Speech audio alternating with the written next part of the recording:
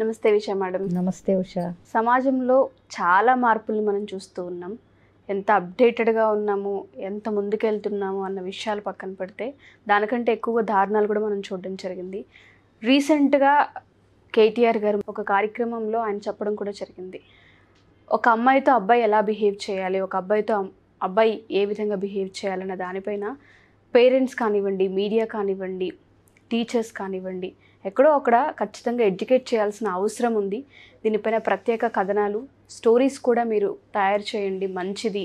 ఇది స్టూడెంట్స్కి కానివ్వండి ఇప్పుడున్న జనరేషన్కి కానివ్వండి చాలా నీడ్ అనేది ఆయన ప్రొజెక్ట్ చేయడం జరిగిందనమాట. చాలా అంటే దారుణాలు. ఒకటి కాదు రెండు కాదు. ఇలా మనం మాట్లాడుకుంటూ వెళ్తే రోజుకి లెక్కలేనని ఎన్నో జరుగుతూ ఉన్నాయి. కొన్ని బయటకు వస్తున్నాయి కొన్ని బయటికి రావట్లేదు. సో ఒక జెండర్ని ఆపోజిట్ జెండర్ని మనం చూసినప్పుడు కానివ్వండి వాళ్ళని రిసీవ్ చేసుకునేటప్పుడు కానివ్వండి మన తోటి ఎంప్లాయీని కానివ్వండి మన కొలిక్ని కానివ్వండి మనం ఏ విధంగా రిసీవ్ చేసుకోవాలి మన పరిపక్వత ఎంతవరకు మనం ఏ విధంగా వెళ్తున్నాం అనేది ఒకసారి మనకు మనం ఆలోచించగలగాలి.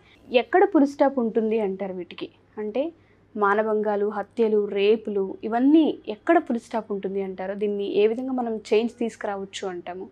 ఒకసారి దీని గురించి మీరేం మాట్లాడతారు యాజ్ ఎ సైకాలజిస్ట్గా. ఫుల్ స్టాప్ అన్నది పెట్టగలిగితే బాగుంటుంది కానీ ఎప్పుడు పెట్టగలుగుతాం అన్నది నాకు క్వశ్చన్ మార్కే ఉషా. ఎందుకంటే ఇది ఎక్కడో రూట్స్ నుంచి చేంజ్ తీసుకురావాలి మనం. ఎందుకు ఇట్లా అవుతుంది? సొసైటీలో సొసైటీ అంటే ఎవరు? నువ్వు నేను మనందరం మన పక్కనాళ్ళు. అందరం కలిపిన ఒక సమాజం. అవునా? ఈ సమాజంలో ఇన్ని ఆకృత్యాలు ఇన్ని దారుణాలు ఇప్పుడు నువ్వు చెప్పినవన్నీ జరుగుతున్నాయంటే ఎక్కడో పిల్లల్లో ఆ జెండర్ సెన్సిటివిటీ అనే దాని పట్ల ఒక అవగాహన కల్పించడంలో పేరెంట్స్ కానీ ఎడ్యుకేషన్ సిస్టమ్స్ కానీ లేకపోతే చుట్టూ ఉన్నవాళ్ళు కానీ ఎక్కడో మనం ఆ కరెక్ట్గా అది డిఫైన్ చేసి పిల్లల్లో ఇంకల్కేట్ చేయలేకపోతున్నామేమో ఇవాల్టి సమాజ అవసరాలకు తగ్గట్టుగా వాళ్ళని అప్గ్రేడ్ చేయలేకపోతున్నామేమో చేయటంలో వెనకబడి ఉన్నామేమో అనిపిస్తుంది. అంటే జెండర్ సెన్సిటివిటీ అంటే అబ్బాయిలేంటి అమ్మాయిలేంటి ఆ బేసిక్గా జెండర్ డిఫరెన్సెస్ తెలుసుకుంటూ వాళ్ళని డిస్క్రిమినేట్ చేయకుండా డిఫరెన్సెస్ మాత్రం వాళ్ళల్లో ఉండేది. అంటే అబ్బాయిలు వేరుగా ఉంటుంది ఫిజికల్ అపియరెన్స్ అమ్మాయిల్లో మార్పులు వేరుగా ఉంటాయి. అమ్మాయిలు అబ్బాయిలు చూడటానికి ఫిజికల్గా డిఫరెంట్గా ఉంటారు. వాళ్ళ బాడీ యొక్క రోల్స్ రెస్పాన్సిబిలిటీస్ డిఫరెంట్గా ఉంటాయి. అంటే ఇప్పుడు ఆడవాళ్ళకి ప్రెగ్నెన్సీ వస్తుంది కానీ మగవాళ్ళకి రాదు. అవునా? ఇలాంటి పక్కన పెడితే జెండర్ సెన్సిటివిటీ అంటే ఏంటి? ఇప్పుడు డిస్క్రిమినేషన్ పెంచేటప్పుడు డిస్క్రిమినేషన్ లేకుండా అంటే ఇవి ఆడపిల్లల పనులు గిన్నెలే నువ్వే తోమాలి ఆ, వాడు పళ్ళింది ఇటువేంటి? ఇట్లాంటివి ఉంటా ఉంటాయి. ఇంకా ఇప్పుడు కూడా. కొన్ని చోట్ల.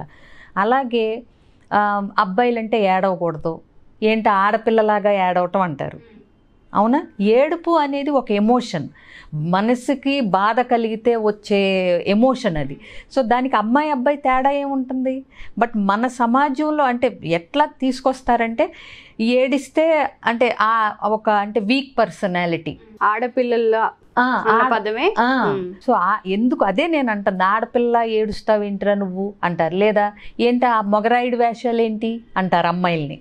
ఏంటి అరవటం గట్టి గట్టిగా అబ్బాయిల్లాగా అంటారు. So this is gender discrimination ఇది ఉండకూడదు. అంటే అబ్బాయి అయినా అమ్మాయి అయినా కోపం వచ్చినప్పుడు అరుస్తారు బాధ వేసినప్పుడు ఏడుస్తారు. అవి అమ్మాయికైనా అబ్బాయికైనా కామన్ ఫ్యాక్టర్స్ అన్నట్టుగా ట్రీట్ చేయగలగాలి. సో ఈ ఏడుపుని కనపడకుండా ఆపుకోవటం కోసం అబ్బాయిలు ఎంత స్ట్రెస్ అనుభవిస్తారో నాకు తెలుసు యాజ్ ఎ సైకాలజిస్ట్ సో ఏడుపుని ఆపుకుంటే అదేమవుతుంది? నువ్వు వచ్చే ఎమోషన్ని నువ్వు ఫ్రీగా బాడీలోంచి రానివ్వలేకపోతున్నావు. దాన్ని అవుట్లెట్ ఇవ్వలేకపోతున్నావు ఆ ఎమోషన్కి. ఏడిస్తే ఎంత భారం దిగుతుంది ఉషా? అవునా కదా. లేదా చాటుకెళ్ళి ఏడవలసిన పరిస్థితి అబ్బాయిలకి. ఎందుకు ఇవ్వాలి మనం అట్లా?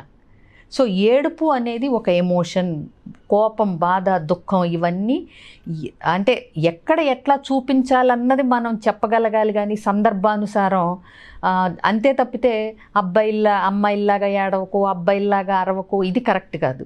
అట్లాగే స్కూల్స్లో అసలు ఏదన్నా ఒక సిస్టంలో చేంజ్ వచ్చి సైకాలజీ అనే సబ్జెక్ట్ కూడా అసలు క్లాస్ వన్ నుంచి బేసిక్ లెవెల్ ఆఫ్ సైకాలజీ అంటే బాడీ మైండ్ సోల్ అసలు వాటి పనితీరు ఏంటి? ఇవన్నీ కూడా సబ్జెక్ట్స్ కింద సైకాలజీ అనే సబ్జెక్టు ఏదన్నా ఒక ఎక్కువైపోతే ఏదన్నా ఒకటి తీసిపడేసి అయినా సరే సైకాలజీని ఇవాళ సబ్జెక్ట్లో పెట్టాల్సిన అవసరం స్కూల్స్కి ఎంతైనా ఉంది. స్కూల్స్లో కూడా సైకాలజిస్ట్ అనేవాళ్ళు మినిమం కౌన్సిలర్ అనేవాళ్ళు చాలా స్కూల్స్లో లేదు. ఉండట్లేదు అదొక బాధాకరమైన విషయం ఎందుకంటే ఎవరికి చెప్పుకోవాలో తెలియదు ఏదన్నా మెంటల్ డిస్టర్బెన్స్ వాడు అప్సెట్ అయినా ఆ అమ్మాయికి ఏదన్నా డౌట్ వచ్చినా ఎవరి దగ్గర ఓపెన్ ఇది అవ్వాలి సైకలాజికల్గా కలిగే మార్పు అనేది కూడా తెలియదు. తెలియట్లేదు. సో ఇది నా మనసుకు బాధ కలిగించే విషయం. ఇది చెప్పొచ్చా. లేదా అని ఇంకా పిల్లలు డౌట్లో దాంట్లోనే ఉన్నారు. ఉన్- ఉండిపోయారు. బట్ నాకు ఈ డౌట్ వచ్చింది నేను ఓపెన్గా దీన్ని క్లియర్ చేసుకోవచ్చు అనే ఒక ఓపెన్ ప్లాట్ఫామ్ ఎక్కడా లేదు. అది ఇంట్లోనూ ఉండట్లేదు స్కూల్స్లోనూ ఉండట్లేదు.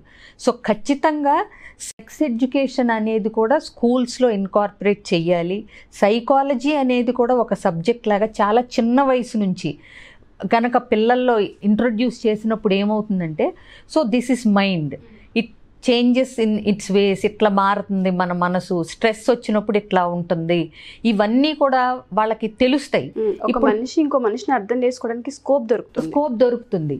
సో అట్లాగే జెండర్ ఇన్సెన్సిటివిటీ అనేది తగ్గుతుంది. సో అమ్మాయిలు అబ్బాయిలు ఎట్లా బిహేవ్ చేయాలి విత్ ఈచ్ అదర్ అనేది అర్థమవుతుంది. సో ఎట్లా మిగిలిన వాళ్ళ జీవితాలతో ఎట్లా ఆడుకోకూడదో కూడా వీళ్ళకి తెలుస్తుంది. అలాగే ఏదన్నా ఒక పని మనం చేస్తున్నప్పుడు how it impacts our family in a society అనేది కూడా వాళ్ళు ఆలోచించగలుగుతారు. ఇవాళ రేపు చేసే వేసే అడుగులు వాటి యొక్క కాన్సిక్వెన్స్ ఏంటో వాళ్ళకి తెలవకపోబట్టే కదా ఈ పిచ్చి పనులన్నీ. నేను ఇలా చేస్తే నెక్స్ట్ క్వశ్చన్ నెక్స్ట్ ఏంటి? మా అమ్మ నాన్నకు తెలిస్తే ఏమనుకుంటారు? ఈ విషయం బయటికి వెళ్తే నలుగురిలో మా కుటుంబ పరువు కానీ కుటుంబ పేరు కానీ ఎట్లా ఉంటుంది? ఈ పని నేను చేయటం కరెక్టా కాదా అని ఆలోచించుకునే విచక్షణ పంతొమ్మిది ఇరవై ఏళ్ళకు కూడా ఉండట్లేదు అంటే మనం ఎక్కడ కరెక్షన్ అనేది స్టార్ట్ చేయాలి? It should be from grass root level ఉండాల్సిందే. ఎందుకంటే ఎక్కడో ఒక వ్యవస్థగా మనం అంటే ఫెయిల్ అయినట్టే కదా? ఒప్పుకోవాల్సిన విషయం. సో ఇక్కడ ఏమవుతుంది? ఏ కొత్త ఇన్నోవేషన్ వచ్చినా ఏ కొత్తది ఆవిష్కరింపబడినా దాన్ని మిస్యూజ్ ఎలా చేయాలో తెలిసినంత బాగా యువత వాడుకుంటాం. దాన్ని అవసరానికి వాడుకోవటం కన్నా కూడా మిస్యూజ్ అనేది ఎక్కువ ఎక్కువైపోయింది. గూగుల్ కానీ మీడియా. కానీ యూట్యూబ్ కానివ్వండి. ఎక్వైరింగ్ నాలెడ్జ్ కన్నా కూడా వేరే విషయాల మీద ఆసక్తి ఇవి కలుగుతున్నాయి.